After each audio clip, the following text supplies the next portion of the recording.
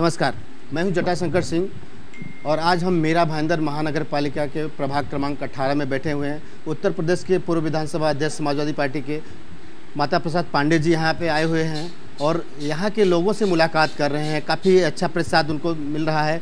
हमारे साथ बीरेंद्र जी बैठे हुए हैं, प्रभाग क्रमांक अठारह से उम्मीदवार हैं। रोशनी सेलार जी हैं, यहाँ से मेरा भांदर मनपा के उम्मीदवार हैं समाजवादी पार्टी से। और हमारे बाएँ साइड में बैठे हुए हैं उमेश यादव जी, ये भी समाजवादी पार्टी के जिला अध्यक्ष हैं, यहाँ से उम्मीदवार हैं। हम पंडित जी से जानना चाहेंगे, पंडित जी किस प्रकार से प्रतिसाद मिल रहा है आपको? मुंबई महानगर पालिका से सटा हुआ है क्षेत्र आता है, मेरा भाईंदर क्षेत्र काफ़ी करीबी है और यहाँ पे असुविधाएँ बहुत हैं। जो अब तक के यहाँ पे जनप्रतिनिधि चुन के आए हुए हैं, उन्होंने विकास नहीं किया, ऐसा आरोप लग रहा है। क्या कहना चाहेंगे इस बारे में? देखिए इसीलिए हम लोग यहाँ अपने समाजवादी पार्टी की तैयारी में हैं कि इसके विकास में समाजवादी पार्टी का योगदान बने। इसीलिए हमारे अध्यक्ष जी यहाँ तैयारी कर रहे हैं कि अपना उम्मीदवार उतार कर कारपोरेशन में हम लोग अपना आदमी जितावें और उसके माध्यम से हम इसके विकास को आगे बढ़ाएँ समाजवादी पार्टी मुंबई में काफ़ी अच्छा प्रयास की, वहाँ पे सीट उसकी जीत के आई, अबू आजमी जी के नेतृत्व में। तो क्या आप संभावनाएँ जता रहे हैं कि इस बार जो आपके पंद्रह से सत्रह उम्मीदवार यहाँ पे उतारे जा रहे हैं तो उसमें से कितने चुन के आ सकते हैं? देखिए, मैं तो ये समझता हूँ, जितने उतारे जा रहे हैं, सभी चुन के आएँगे। लेकिन अब परिस्थितियाँ क्या उस समय बनती है, लेकिन मैं ये ज़रूर कहूँगा कि यहाँ के मतदाताओं में बड़ा उत्साह है। मैं आया हूँ, कल से घूम घूम के मिल रहा हूँ। समाजवादी पार्टी के प्रति उनका बड़ा लगाव है और उन लोगों की इच्छा है कि समाजवादी पार्टी यहाँ चुनाव लड़े और हमारी समस्याओं को कॉरपोरेशन के सदन में जाके उठावें जिससे हमारी जो दुश्वारियाँ हैं जो कठिनाइयाँ हैं वो दूर हो सकें। कुछ संभावनाएँ जताई जा रही हैं कि गठबंधन होगा समाजवादी पार्टी कांग्रेस के साथ और दूसरे दलों के साथ गठबंधन कर सकती है। तो इस बारे में क्या कहना चाहेंगे? कि अभी हम इसके बारे में कुछ नहीं कह सकते।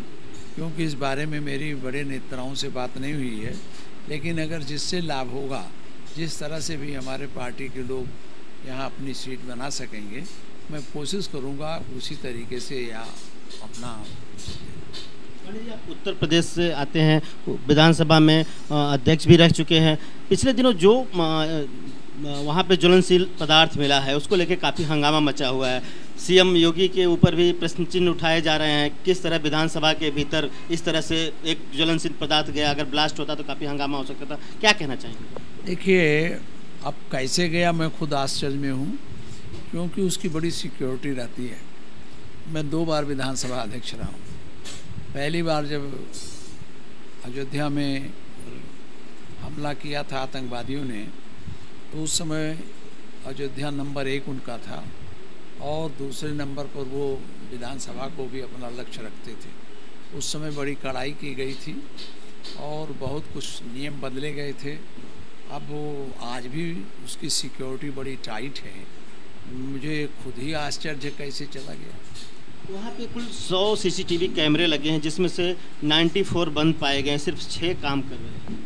अब ये मैं नहीं बता सकता क्योंकि मैंने कुछ सीसीटीवी कैमरे नहीं ले गए थे। तो मैंने बहुत प्रयास किया था गवर्नमेंट में कि वो जल्दी लग जाए, हमको लगता लग गए होंगे।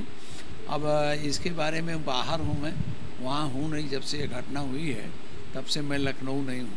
इसलिए इसके बारे में विस्तृत जानकारी नहीं दे सकता, लेकिन ये मिला है तो ज़रूर यह गंभीर घटना है।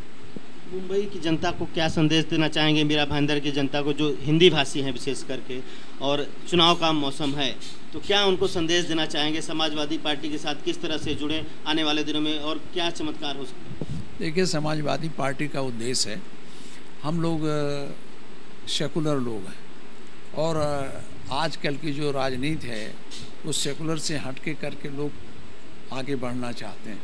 समाजवादी पार्टी सेकुलर राजनीति करती है और जो हिंदी भाषी हैं, वो अधिकांशतः सेकुलर ही लोग हैं। पहली बार ऐसा स्थिति आई है उत्तर प्रदेश में। तो हम लोग चाहते हैं जो सेकुलर लोग हैं और हिंदी भाषी लोग हैं, जिनकी आवाज़ यहाँ दबाई जाती है कुछ लोगों के द्वारा, उनके ऊपर परेशानियाँ डाली जाती हैं।